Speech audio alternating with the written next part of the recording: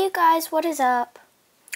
I made me a wash stall. I know it kind of looks a little junky, but um, I made it today and I'm hoping to get the wash stall one day, but I just made this. It's kind of ugly, but yeah, it has like a water hose right there.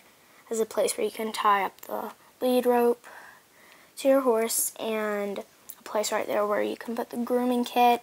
And yeah, I know it looks kind of bad, but it's all I had for now.